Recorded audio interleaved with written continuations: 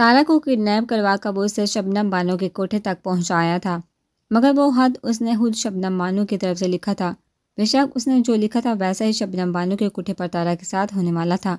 मगर शबनम बानो के हिसाब से उस सब की खबर किसी को नहीं होनी चाहिए थी। क्योंकि अगर किसी को इस सब के बारे में मालूम हो जाता तो उसका कोठा खतरे में पड़ जाता और जो जेल होती वो लदा मगर शौकत को तस्लीम मलक हारा हुआ चाहिए था। उसके घर की दर दीवारों को हलाना ही तो उसका असली मकसद था, जो कि वो अच्छी तरीके से अंजाम दे चुका था।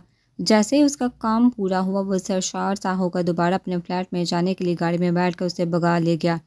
उसका बदा अब आधे से ज़्यादा पूरा हो चुका था। उस सबसे सलीम की इज़्ज़त उसके दिल पर जो सहम लगेंगे, उनका मरहम दुनिया के किसी तबीब के पास भी नहीं होगा। उन्हीं सोचों के ज़रिए से वो खुशी से चहकता स्पीड से गाड़ी चलाने में मगन था। कुछ आगे जाकर जैसे उसने बाएँ तरफ़ टर्न किया सामने ही किसी को ट्रक के बीचों बीच, सड़क के बीचों बीच खड़े देख उसने एक झटके से गाड़ी रोके। सामने ही कोई हाथ में पकड़ी लाठी को ज़मीन से लगाए, बड़ा सा काला चोगा पहने बाड़ी वाले काले बूटों में से एक बूट को चंद सेकंड बाद थोड़ा सा उठाकर वापस वहीं रख देता। दराज कद के साथ वो इंसान शौकत की गाड़ी से कुछ फासे पर उसकी तरफ़ पुष्ट किए खड़ा था। ओए मरने का इतना शौक हो तो कहीं और जाकर मार। मिरर नीचे करके गर्दन बाहर निकाल कर गाड़ी में बैठे बैठे ही दाड़ा। कुछ देर पहले वाला अच्छा मूड अब रास्ते में रुकावट देखकर हराम हो चुका था। जब मेरे दुश्मनों का इस दुनिया पर वक्त ख़त्म हो जाता है तो उन्हें इस ज़िंदगी के बोझ से आज़ाद करने के लिए मुझे आना ही पड़ता है। सनसनाती रात के गहरी खामोशी में उसकी गड़ेदार आवाज़ शौकत का दिल दहलागी। अबे जा, पी कर आए हो शायद, जो इस तरह बीस सड़क ड्रामे कर रहे हो। वो जंजला उठा। गाड़ी का दरवाज़ा खोलकर बाहर निकला ताकि उस आदमी को बीच रास्ते से हटा सके। मगर जैसे उसने गाड़ी से कदम बाहर रखा, उसकी तरफ़ पुष्ट करके खड़े इंसान के होंठों पर पूरे इसरार मुस्कुराहट आन ठहरी। आप सब कहाँ जा रहे हैं? हाल में जो कुछ हुआ, वो उसने भी देखा। तब से उसे परेशानी हो रही थी, कुछ समझ आया भी और नहीं भी आया। मगर जो भी हुआ था, शायद बहुत ही बुरा हुआ था। तभी सब अपने, सब इतने परेशान और गुस्से में थे। अरसल चेंज करते हैं उसके करीब आया। उसे दोनों कंधों से थाम कर अपने मुकाबल किया। नज़रें कुछ पल के के लिए खूब से चेहरे पर जमा करके हम सब जहाँ भी जा रहे हैं, बस ये समझ लो कि बहुत ज़रूरी काम है।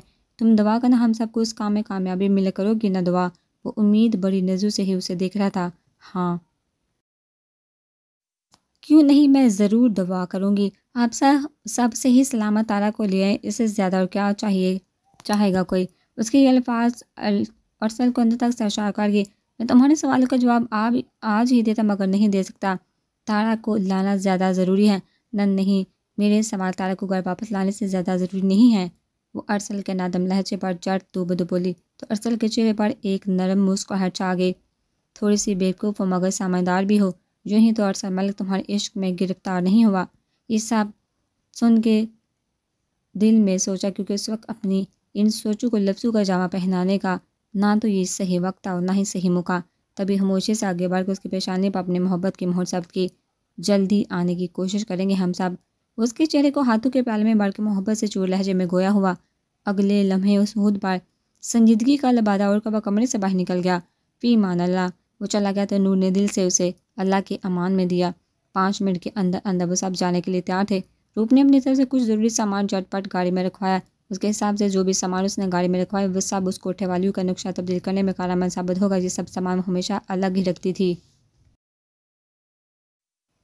इतने कम वक्त में वो उपटन के दुल्हन का लिबास तब्दील करके जीन्स और शर्ट में हमेशा वाले रूप बाँध चुकी थी। तब तक अरसल और चाँद भी तैयार होकर आ चुके थे। मैंने पुलिस को इन्फॉर्म कर दिया है, तुम लोगों के साथ वो सब भी वहाँ पहुँचाएँगे जैसे ही वो तीनों इकट्ठे हुए सवान उनके करीब आगा से गोया हुआ। पहले सब लोग बहुत परेशान थे पुलिस का नाम सुनकर वो और ज़्यादा परेशान हो जाते इस वजह से वो अब थोड़ी एहतियात बरता था ये आपने बहुत अच्छा कर दिया, डैड। मेरे हिसाब से अब उस कोठे का नाम निशान मिट जाना चाहिए, जहाँ ना जाने कितनी मासूम बच्चों की रोज़ बोली लगती होगी, कितनी मासूम लड़कियों ने अपनी इज़्ज़त जैसी अनमोल दौलत खोई होगी। यहाँ अरसल दान पीस का कोया हुआ चाँद जब से मुठियाँ बेची अपना तैश वो सही जगह निकालना चाहता था, जबकि रूप के दिमाग की नसें भी तन गई। शबना बानों को अच्छा मज़ा चखाने का एक बार फिर दिल में बका इरादा बांधा। वो तीनों ही मलक हाउस के हाजी हिस्से की जानब बढ़ गई जबकि मिशी भी खामोशी से ये सारी कार्रवाई मुलाहजा कर रही थी। Turn turn turn. बेल जारी थी मगर आगे से फ़ोन कोई रिसीव नहीं कर रहा था। शिट यार, उनका पीछा करते करते उसे काफ़ी देर हो चुकी थी। आखिरकार उनकी गाड़ी तंग गलियों में दाखिल हुई, जहाँ जगह जगह चूड़ियों और हर बूंद से लदे बंद बंदे ठेले लगे थे। लोग सुस्त रवि से आ जा रहे थे ओटे। लड़कियाँ भी दुबट्टे से बेनियाज चुस्त लिबास के साथ गलियों में घूम रही थी। एक ऐसा अजीब मोहल्ला था। कुछ मन चले लड़के लड़कियों की छोटी छोटी टोलियाँ जगह जगह हर सास का बातें करने में मौजूद थी। शर्मो है नामी कोई चीज़ यहाँ देखने को नहीं मिल रही थी। घर में किसी को इस बारे में मालूम हुई से पहले ही वो तारक को उन लोगों से बचाकर गैस ले जाना चाहता था। तभी वो बार बार मुस्तफ़ा का कॉल लगा रहा था। ये जानने के बावजूद कि जब मुस्तफ़ा शाह उन लोगों को उनका अंजाम तक पहुँचाने निकलता तो वो किसी की कॉल रिटर्न नहीं करता। फिर भी एक भरोसे के साथ वो उसे कॉल करा था, शायद इस बार कोई मुर्जा हो जाए और मुस्तफ़ा चाहे उसकी कॉल उठा ले, क्योंकि बल्ले वो उन लोगों का पीछा कर रहा था, मगर वो तो ये भी नहीं जानता था, ये लोग तारक को कहाँ और क्यों लेकर जा रहे हैं? और उस बच्चे से किसी की दुश्मनी है? या फिर मलक ख़ानदान के लोगों से अपनी दुश्मनी उस मासूम के ज़रिए निकालने की कोशिश की गई है। उस एक दिन में वो इतना तो जान गया था। छोटी सी लड़की मलक हाउस में बसने वाले हर फर्द के दिल में बसती थी। क्या गिद की नज़र पाई है हबीस बुढ़े ने? कसम से वारे न्यारे हो गए, आए तो इस कोठे के। बेड पर लेटी उस पड़ी जैसे लड़की को देख शबनम बानो की आँखें चमक उठी। जब लड़कपन में इतनी कायमत है तो जवानी में तो क्या ही कायमत आएगी ये लड़की? जाओ, जाकर राना ठाकुर को लेकर आओ। उस हीरे किस लिए कीमत देगा? उस हवा से बेगाना बेसुद पड़ी तारक उसके, उसने मानी है नज़र से देखा। ठीक है, हम बुला लेते हैं राना ठाकुर को। उन दो आदमियों में से एक बार चला गया। जबकि दूसरे ने हैरत से उस बच्ची की तरफ़ देखा। वैसे शबनम भाई, ये लड़की बच्ची है अभी। आपको नहीं लगता ये, लगता जो आप करने चाह रही हैं उसके साथ वो जुल्म होगा? दूसरे आदमी ने अफसोस बड़ी नज़र से तारा की तरफ़ देखकर अपने दिल की बात बोल दी, जबकि शबन बानों ने कह बरसाती नज़र से उसकी तरफ़ देखा। दूसरे पर चौटाह की आवाज़ पूरे कमरे में गूंजने के साथ उस आदमी का मुँह दूसरी तरफ़ फेर गई। बस तेरी हिम्मत कैसे मेरे सामने ज़बान खोलने की? शबनम बानो तुझे काम के पैसे देती है। तर्स तर्स खाएगा। तू जान से जाएगा। चूड़ियों और कड़ू से बड़ी कलाइयाँ और बड़ी बड़ी अंगूठियों से बड़े सारी उंगलियों वाला हाथ नचा नचा कर वो बोल रही थी। चल अब जा, यहाँ से तेरा काम ख़त्म हो गया। वो गुस्से से गोया हुई, साथ ही उस आदमी का बाजू पकड़ कर उसका रुख बाहर की तरफ़ घुमाया। खुद भी एक लालची नज़र तारा पर डालकर बाहर बढ़ गई। तारा कनूदी में थोड़ा सा कसमसाई, नशे का असर चुट रहा था। तभी वो आहिस्ता आहिस्ता होश हवास की दुनिया में वापस आ रही थी। राना ठाकुर शबनम में नहाल होकर सामने मौजूद आदमी का नाम पुकारा। सामने मौजूद तेईस पैंतीस साल बड़ी बड़ी मूछों वाला नीले रंग के कुटा शलवार पहने, गले में सोने और मोतियों के माला डाले, वो बार बार अपनी मूछों को ताव दे रहा था। क्या हुआ शबनम बानो? आज हमें कैसे याद कर लिया? टांग पर टांग जमाए वो मगरूराना अंदाज में गोया हुआ। अरे, हजूर आप कोई भूलने की चीज़ है क्या? जो याद आएँगे। अरे, आप तो इस छोटे से गरीब बहाने की शान है। शबनम बानो ने भरपूर लगावट का मुजाहरा किया। काफ़ी दिनों से आपने जहाँ का चक्कर नहीं लगाया था। तो सोचा आज आपको बोला बुला कर आपकी खिदमत कर शबनम बानो का मानी जानदाद वो बहूबी समझता था तभी चारों तरफ़ नज़र घुमा कर नहुसा से सर का, अब क्या आपसे अपनी खिदमत करवानी शबनम बानो? सारी खिदमतें करवा चुके हैं हम तुमसे। सारा माल पुराना हो चुका है हमारे लिए, तुम्हारे इस सगड़ी बहाने का। अब ऐसा माल आओ जब जो अन छुआ हो। जवानी की दहलीज पर कदम रखती नोहेज, जवानी एकता से शबनम, उसने शबनम बानो को अपने पसंद से आगाह किया। बदले में शबनम बानो के चेहरे पर पूरी इसरार, आन ठहरी अगर ये शबनम बानो आपकी इस हवाश को पूरा करे तो क्या कीमत देंगे? आप अपने इस हवाश की शबनम बानो का कॉन्फिडेंस काबिल दी था। राना ठाकुर के चेहरे पर मुस्कुराहट दाराई पहले हम माल देखेंगे, फिर कीमत लगाएँगे। आखिर हम अपने शौक के लिए कोई भी कीमत अदा कर सकते हैं। वो भी डायरेक्ट मुद्दे की बात पढ़ाया चलिए दिखाते हैं आपको माल। वो भी बिना वक्त ज़ाय के उठ खड़ी हुई। राना ठाकुर भी उसके ताक़ में कदम बढ़ाए। गाड़ी जैसे रोशनी में बड़े तीन मंजिला घर के करीब आकर रुकी तो एहसन को हैरत ने आन गिरा मतलब कोई तारा को एक घर से किडनैप करके इस भीड़ बाढ़ वाले इलाके, इस घर में क्यों कर लाएगा बात तफ्तीश के लायक थी। एक तरफ़ गाड़ी पार करके उसने आसपास के लोगों से उस कार के बारे में पूछताछ कुछ की। मगर जैसे जैसे लोग उसे उस मकान की हकीकत बता रहे थे एहसन खान का दिमाग बाग से उड़ रहा था। वट द हेल ये सब क्या हो रहा है? एक पंद्रह साल लड़की इस कोठे पर, मुझे अभी उसी वक्त उस लड़की को यहाँ से लेकर जाना होगा। इज़्ज़त दरगाह की लड़की को ऐसी गलियों से गुजरना भी नहीं चाहिए। मुझे कुछ भी करके अंदर जाना होगा जो से उस वक्त काम नहीं दिया जा सकता। उस मकान के बह मंडलाते तीन चार मशरंडों को देख उसका दिमाग तेज़ी से काम करने लगा। जब बाहर तीन चार आदमी नस्ब हैं तो अंदर कितने होंगे? यही सब देख वो अपनी गाड़ी के सिमत बड़ा कोट उतार कर गाड़ी में उछाला, शर्ट के ऊपरी दो बटन खोले। सलीके से जमाए के बालू को बखेरा कप खोल कर कोहनियों तक फोल्ड किए।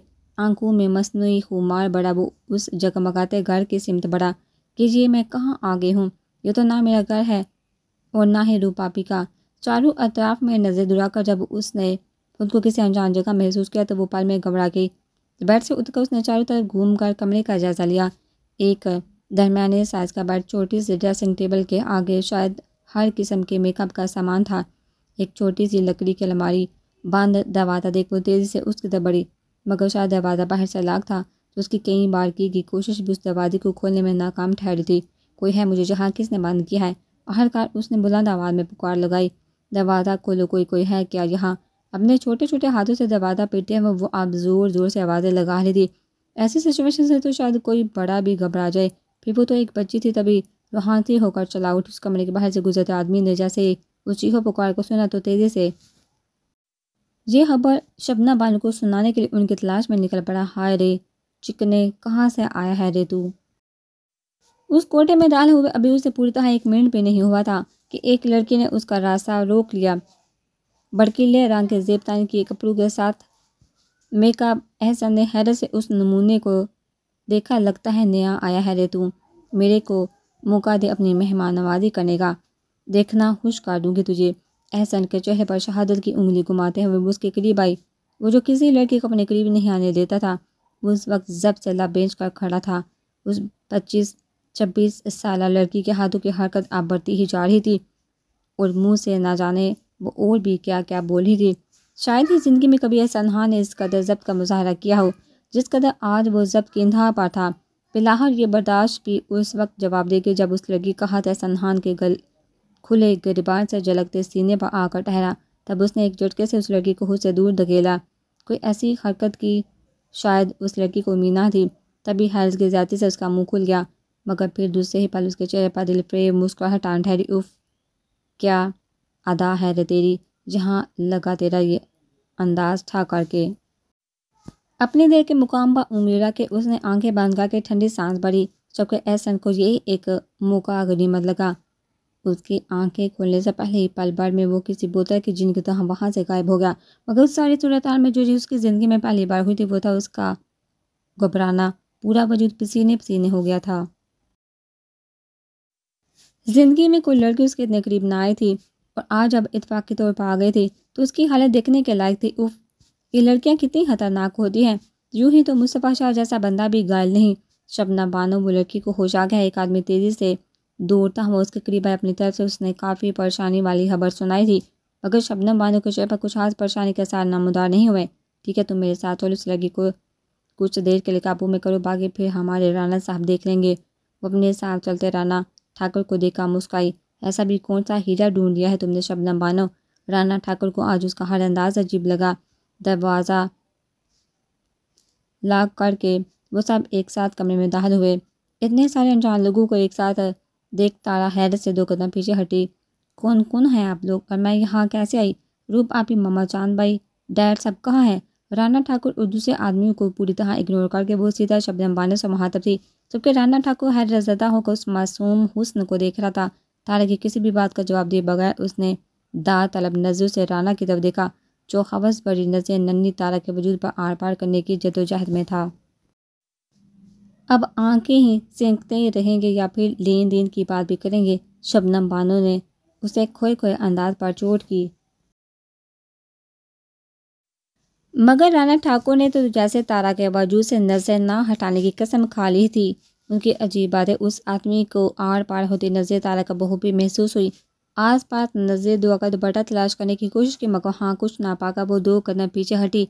मैं कुछ पूछ रही हूँ आप सबसे इन सबको अपनी किसी भी बात का असर ना लेता, देख वो चंचला उठी जबकि शबनम बानो जैसे उसकी उस हालत से लुत्फ अंदोज हो रही थी, तारा ने हैरत से उसके तंजिया मुस्कुराहट को देखा। कुछ समझ नहीं आ रहा था ये सब लोग कौन थे और बाकी सब कहाँ थे, जबकि वो तो गार्डन में थी। वाह शबनम बानो, वाह, कहाँ से ले आई ये मोती चुरा के? राना ठाकुर बोला तो शबनम बानो कह कलका का हंस पड़ी? उससे आपको कोई मतलब नहीं होना चाहिए। हजूर, आप तो बस आम खाइए गुटलियाँ हम गिन लेंगे। आपकी सोच से भी ज़्यादा खड़ा सोना है ये।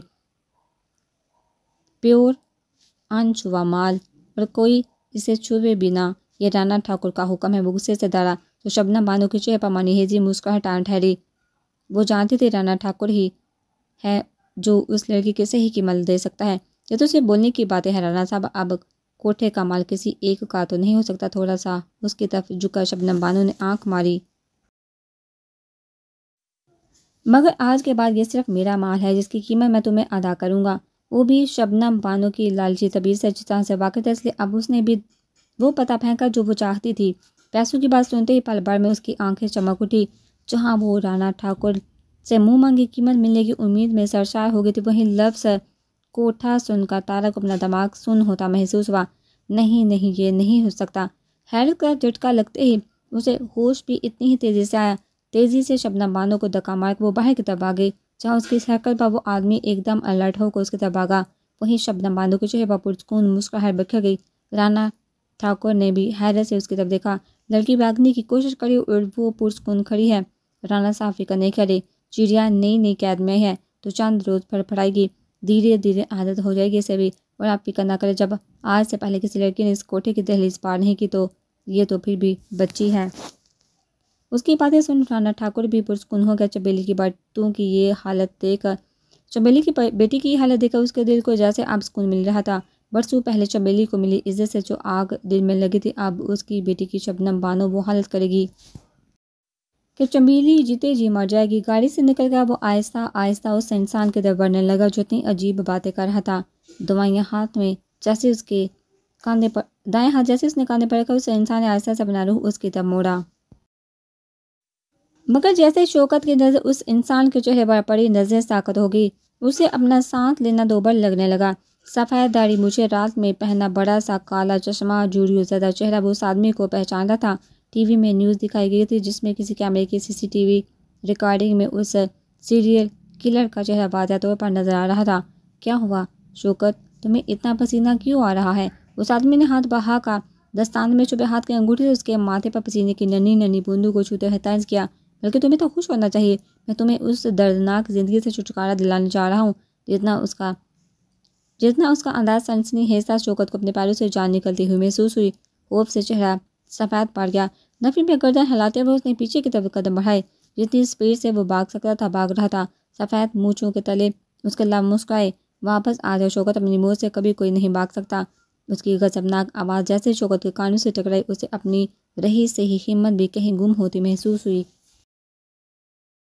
थोड़ी देर पहले जिस घर में खुशू का सामान था, हर कोई हंस गा रहा था। छोटे से लेकर बड़े तक के चेहरे मुस्कुराहट से मजीद थे। अब वहीं घर के वेरा, घर किसी वीराने की तरह लग रहा था।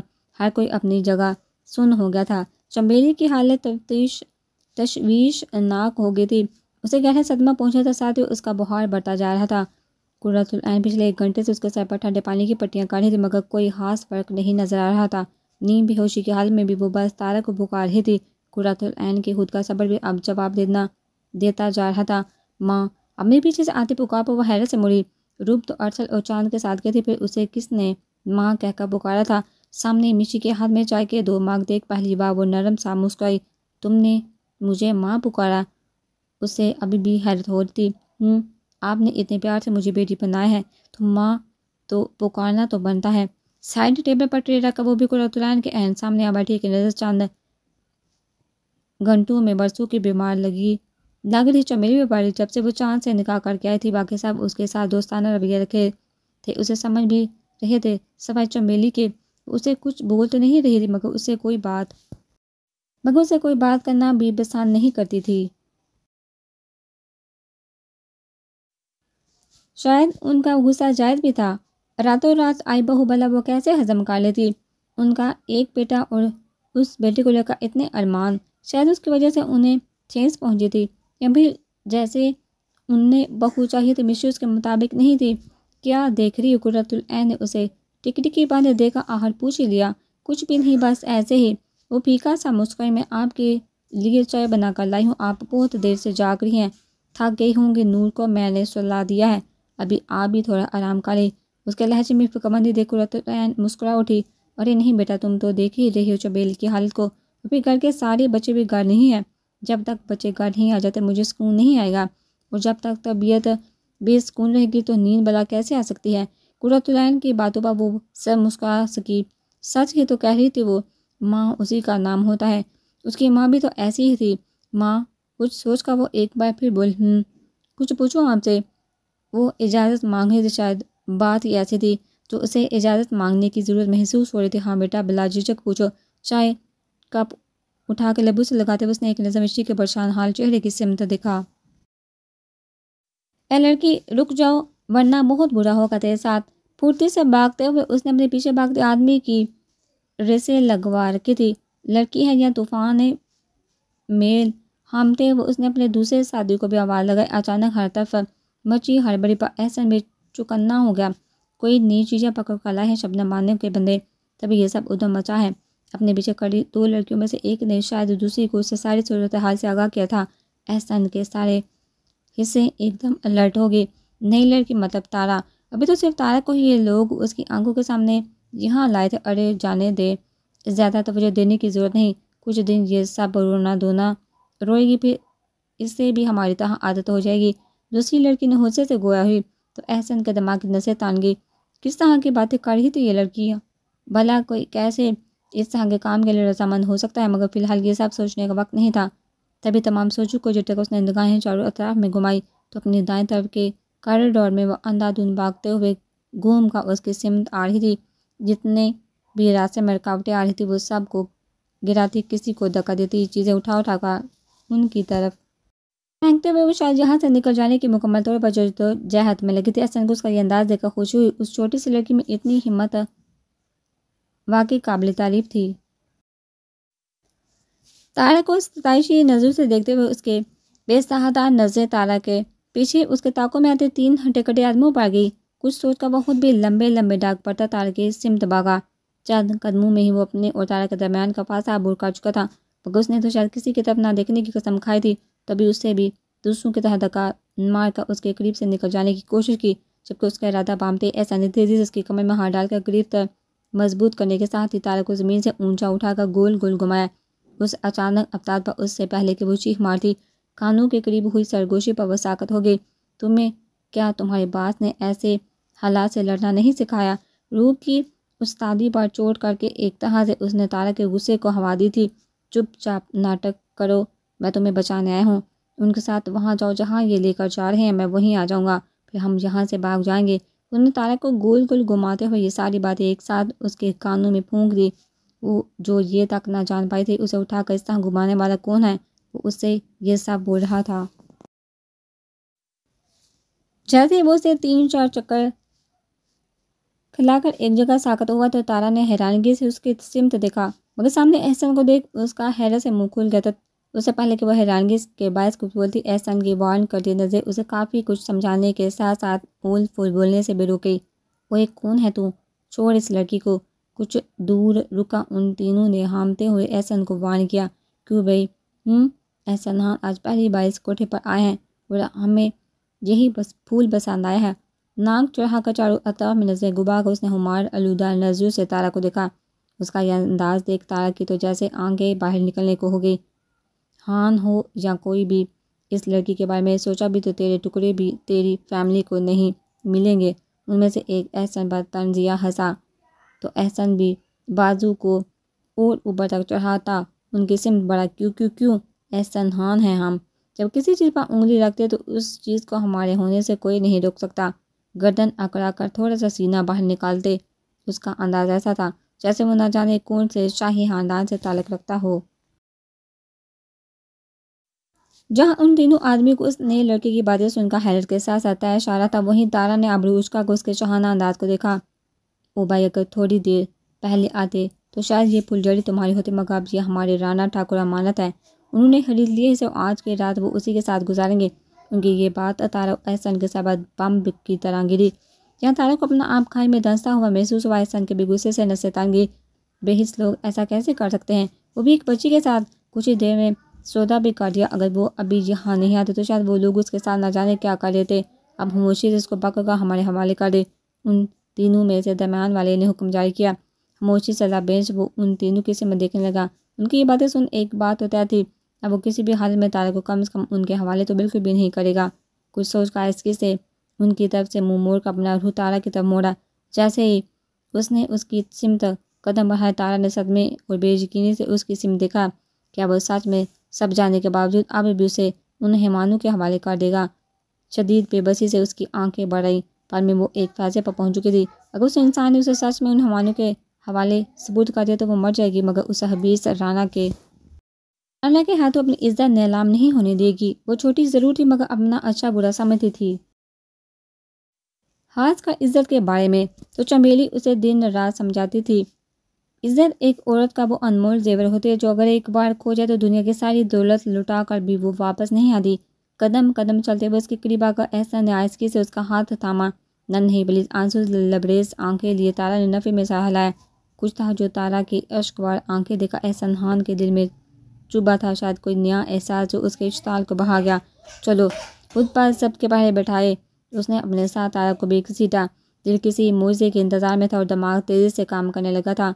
एक नज़र चारों तरफ़ डालकर उसने वहीं से अंदाज़ा लगाया कि अगर वो दोनों यहाँ से भागें तो रास्ते में कौन कौन सी रुकावटें आ सकती हैं। जब उन तीनों से वो दोनों चार कदम दूरी पर रह गए, तब ऐसा ने इंतहाई कदम उठाने की ठानी। मगर उससे पहले वो किसी एक्शन में आता दरवाजे के पास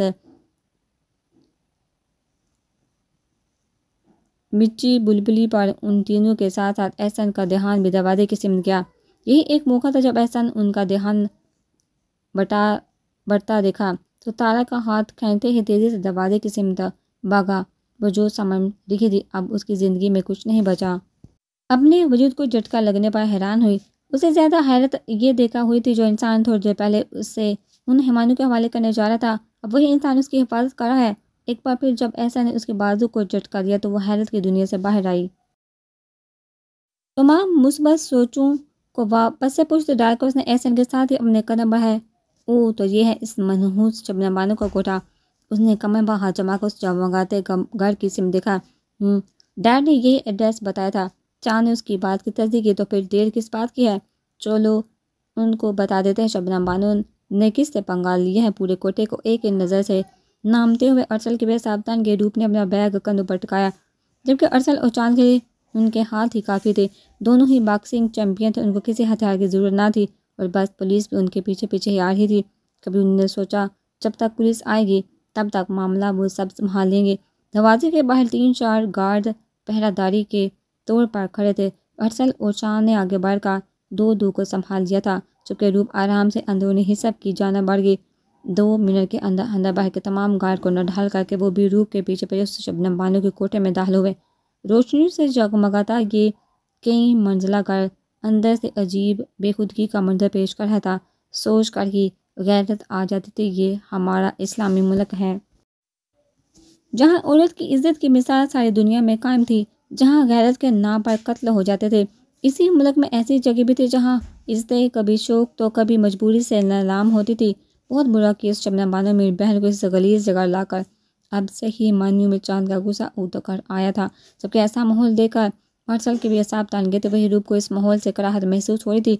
कैसे एक औरत चाँद रपू के एवज अपनी इज़्ज़त किसी गैर मर्द के कदमों में रख देती है?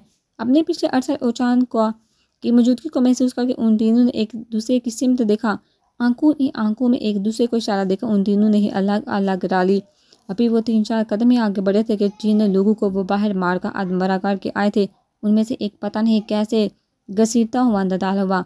बिना इधर उधर देखे उसने बाकी सबको ललकार मार का मतवजा किया। अरे कहाँ हो सब लोग? कोठे पर हमला हुआ सबको बुलवाओ। वो चिल्लाए चिल्लाकर सब पुनीता मतवजा करा। तो उन तीनों के आगे बढ़ते कदम भी उस आदमी की ललकार पर रुके अरसल ने नज़र चाँद की सिम देखा। चाँद आँखों आँखों में उसे आगे बढ़ने का इशारा दिया और खुद उल्टे कदम उठाता उसके जाना बढ़ा एक जोरदार पाँच उसके मुँह पर सिद्ध करते हुए वो ज़मीन बोस हो गया। उनकी हालत तो पहले ही वो दोनों खराब कर चुके थे। मगर अब तक वो पूरी तरह से बेहोश हो गया था। अब सुकून हो गया इस हबीस की औलाद को। चाँद ने जहहंद नज़र से उसकी सिम देखा, तब तब उस आदमी को लगाई गई ललकार अपना काम कर चुकी थी। जिन जिन लोगों के कानों तक ये बात पहुँची थी, उन्होंने बाकी सबको अलर्ट कर दिया था। सब अलग अलग टोलियों की सूरत उनकी तरफ़ बढ़ने लगे। तादाद में वो सब तकरीबन पच्चीस तीस होंगे। रूप ने हैरत से उन सब की तरफ़ फिर अपने भाइयों की सिम देखा। वो दो थे और मुकाबल इतने सारे। वो दोनों चाह कभी उन सबसे एक साथ नहीं लड़ सकते थे। उनको किसी और की मदद की भी, मदद भी दरकार थी। यही ऐसा वक्त था जब रूप को पाकिस्तानी पुलिस पर जी भर के घुसाया था। वो अभी घर से नहीं चले थे।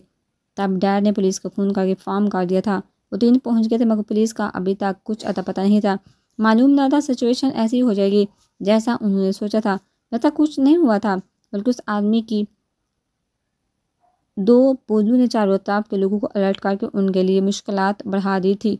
चंचला को उसने कुछ सोचने के लिए इधर उधर नज़र जाए मगर जैसे ही नज़र सेकंड फ्लोर पर भागते तारा उड़े सन पर पड़ी। उसे हैरत का शदीद झटका लगा। तारा यहाँ समझ में आता मगर सन भी यहाँ है, ये बात समझ नहीं है मगर ये वक्त सोचने समझने का तो नहीं था। तभी उसने एक नज़र उन लोगों की तरफ़ देखा, जिनकी नज़रों का मरकज इन तीनों की ज़ात थी। रूप ने उनमें से कुछ को चैलेंज देती नज़रों से देखा। जैसे उनका मज़ाक बना रही को तुम लोग कुछ भी कर मुझे नहीं पकड़ सकते। रूप की नज़र उसकी तरफ़ मतवजा कुछ लोगों को तैश दिला गई। और ये लड़की खुद को समझती क्या थी? दान पांजी होगा। उन जैसे हट्टे कट्टे को चैलेंज दे रही थी। नज़र से ही उनके दिमागों में अलग आग लगाकर रूप ने तारे की सिमत भागना शुरू किया। जिन जिन आदमियों को रूप के चैलेंज ने तैश लाया था, वो सब एक साथ उसके पीछे भागे। सबके बाकी सबको अरसल और चाँद ने टेरे हाथों ले लिया। उनमें से हर एक उन दोनों के चाँद बारू के मार थे, क्योंकि चाँद और अरसल बॉक्सिंग चैम्पियन थे। मगर वो सब तादाद में ज़्यादा था तो मुश्किल पेश आ रही थी। रूप रूप आपी तारा की जैसे ही नज़र तरफ़ आती, रूप पर पड़ी, वो वहीं से चला उठी। तारा की चीप एहसन ने भी हैरत से अपने सामने से आते रूप की सिम देखा। फिर नीचे मची उद्दम में चाँद और असल की शबनम बानों के बंधु से मीट भीड़ को देखा, ये सब यहाँ कैसे आ गए थे? क्या ये सब भी तारा के बचाने आए थे? मगर उन सबको कैसे पता चला यहाँ से? यहाँ है तारा, उसके जहन में सवाल उभरा। जवाब शायद वो पहले से जानता था यकीन वो सब तारा को बचाने ही यहाँ आए थे। उस नन्हे से लड़की में मलक हाउस के जान बसे थे परेशानी की बात सिर्फ़ इतनी थी कि रूप के साथ साथ उसके पीछे भी कई आदमी भागते आ रहे थे, जबकि वो तारा को लेकर कोई रिस्क नहीं लेना चाहता था, मगर अब जबकि उसके लिए उसके अपने भी उसे बचाने आ गए तो उसे ये रिस्क लेना ही पड़ेगा। पहले वो अकेला था तो हता जाता था, मगर अब ये सब यहाँ मौजूद थे। तो कोई इंतहाई कदम उठाने में कोई हर्च ना था। तारा तुम मेरे पीछे रहना, आगे आने की कोई ज़रूरत नहीं। ऐसा ने सहती से उसे वान किया। कोई और वक्त होता तो वो इतना सख्त लहजा किसी का बर्दाश्त ना करती, मगर ये वक्त ही ऐसा था, और वो जो उससे सख्त लहजा रवा रखे था, उसने आज तारा की ज़िंदगी पर बहुत बड़ा एहसान किया था। एक तरह से वो उसका मुहाफिज बन बैठा था। भागते भागते दोनों कंधों पर लटकाए बैग को एक कंधे से निकाल कर दूसरे कंधे पर लटका रहने दिया। तेज़ी से उस बैग की सबसे छोटी सी खोल कर वहीं से मुट्ठी भर गिलास, बाल बरामद किए। हल्का सा नीचे चुका हुआ कुछ दूरी के फाते पर उसकी तरफ़ आते आदमी की तरफ़ मुस्कुरा कर देखते हुए उसने वो सारी ग्लास, बाल मार्बल से बने फर्श पर बिखेरी। अगले ही लम्हे पूरी रफ्तार से बाकर रूप की तरफ़ आते आदमियों के पाँव जैसे उन गिलास पर पटा तकरीबन सभी लड़खड़ा कर बुरी तरह फर्श पर उन्हें मुँह गिरे, जहाँ उनकी हालत देख आस पास कह के बुलान हो गए। वही एहसान को भी अब हालात काबू में आने की उम्मीद हो गई थी। मुस्तफ़ा शाह की हम सफ़र मुस्तफ़ा शाह की हम सफ़र भला इतनी कमज़ोर कैसी हो सकती है? तारा, तुम ठीक तो हो ना? एहसन की मौजूदगी को पूरी तरह फरामोश करके वो सीधा तारा की सिमत वजह हुई। हाँ हाँ रूप बाबी, मैं ठीक हूँ। रूप के गले लाकर जैसे ही उसे सुकून का सांस आ गया हो। चलिए, अभी हम यहाँ से भाग चलते हैं। वो से उतर पर तो सांसों को इतदाल में लाते हुए उसने सबसे पहले रूप को यही मशवरा दिया। जिस पर रूप ने घूर कर उसकी तरफ़ खा जाने वाली नज़र से देखा, ऐसे कैसे हम डरपोक की तरह भाग जाएँ? ऐसा तुमने सोचा भी कैसे? वो कड़े तेवर लिए उसकी तरफ़ मतवजा थी। दंगे की चोट पर तुम्हें यहाँ से लेकर जाएँगे। चलो मेरे साथ, वो जहाँ शबनम मानो न जाए, मुझे बस एक बार बता देना, फिर उसके साथ क्या करना है ये मुझ पर छोड़ देना। रूप का पूर इसरार अंदाज तारा पर यह वादा कर गया था वो। इस वक्त काफ़ी गुस्से में है, उस शबनम मानो के साथ कुछ बहुत बुरा करने वाली है। गुस्से में तो वो खुद भी थी, मगर उसे उस बड़ी बड़ी मूछों वाले आदमी से डर भी लग रहा था। चलो अब रूप के एक बार फिर सर्दी से पुकारने पर वो उसकी पैरवी में चल दी। दिल अभी भी डर रहा था, मगर अब डर कुछ कम लग रहा था, क्योंकि रूप उसके साथ ही एहसान ने सुकून का साथ लिया। तारा का हाथ छोड़कर वो खुद उन सब की तरफ़ बढ़ा, जो गिर कर आप उठने की कोशिश कर रहे थे। जब अरसल एक साथ तीन से निमट रहा था, वहीं चाँद भी पूरे जोश व से उनकी हड्डियाँ तोड़ने में लगा था। उसका बस नहीं चल रहा था, उन लोगों की जान ले ले, मगर वो ऐसा नहीं कर सकता था। उन दोनों को चारों तरफ़ से पूरी तरह काफिल देख एक आदमी तेज़ी से तेज़दार चमचमाता चाकू निकाल कर उनकी तरफ़ मतवजा हुआ अरसल ने अपना रूह इतफाक़ी तौर पर दूसरी तरफ़ मोड़ा तो वो आदमी तेज़ी से चाँद की तरफ़ घूम कर उसके अपने वार का निशाना बनाना चाहा। अरसल जी का चाँद को अपनी तरफ़ मतवजा किया, मगर उससे पहले ही वार हो चुका था। बाजू पर गहरा कट लगते हुए तेज़ी से शर को बुकोते हुए हाथ की सिमत बढ़ने लगा। उस आदमी को इतनी ज़रूरत पर चाँद की आँखों में हूँ उतर आया। उसके चाकू पकड़े, आदमी की कलाई पकड़ी, मज़बूत करके चाँद ने ज़ोर से उसका बाजू मरोड़ा अरसल ने चाँद को इतने गुस्से में देखा नफी में सहलाया। एक ठंडी सांस बार का वो एक बार फिर बाकी सब की तरह मतवजा हुआ। अगले हिल में एक दिल हराश शीह पूरे कोठे की दर और दीवार के दरमियान गूंज उठी। चार लड़कियाँ एक तरफ़ खड़ी होकर उस लड़ाई को हिट फ़िल्म की इंजॉय की तरह इंजॉय करी तो उनके चेहरे पार से मुस्कुराहट गायब होकर चेहरा हो फहराज के आसार नमदार हो गए। दूसरी तरफ़ जो अरसल चाँद से लड़ने के लिए मैदान में कूद चुके थे, उनके दिल पर भी उस आदमी की दिल हरा शीख ने हैबत तारी कर दी। कोटे पर हमले की खबर जैसे शबनम बानो तक पहुँची, उसका गुस्से से बुरा हाल हो गया उस कोटे की भी अभी ही एक तारीख थी, जहाँ इज़्ज़त दार से लेकर बेगैरत आता था, मगर कभी किसी ने इंसान की कोई हरकत या साजिश करने का सोचा भी नहीं था। फिर आज ये कौन दुश्मन बगावत पर उतारा था। राना ठाकुर ने हैरत और परेशानी से उसकी तरफ़ देखा। दूसरे लम्हे उसका तैज से बुरा हाल था। देखो शबनम बानो हमारे माशरे में एक इज़्ज़त अगर तुम्हारी वजह से हमारी इज़्ज़त ज़रा भी दागदार हुई तो हम तुम्हें किसी काबिल नहीं छोड़ेंगे। उंगली उठा कर उसने कहे, बरसाती नज़रों से शबनम बानो को धमकी दी। शबनम बानो ने दान पीस का नाम नहाद इज़्ज़तदार राना ठाकुर की तरफ़ देखा, मगर ये वक्त उस बदमाग आदमी से उलझ करने का नहीं था। अगर आज कोटे के कुछ हो गया तो वो क्या करेंगे? तभी कोई दर्द से दबाता खोल कर कमरे में डाल हुआ। मगर सामने मौजूद इंसान को देखकर शबनम बानो की आँखें फटी की फटी रह गई। आखिर ये इंसान इस वक्त और क्यों कर यहाँ आया ये जहाँ वापस आएगा, उसकी उम्मीद तो उसे कभी ना थी। पहली बार जब आया था तो शबनम बानो की नींदें महीनों तक उड़ा कर गया था। अब अब वो कौन सी तबाही अपने साथ लाया था?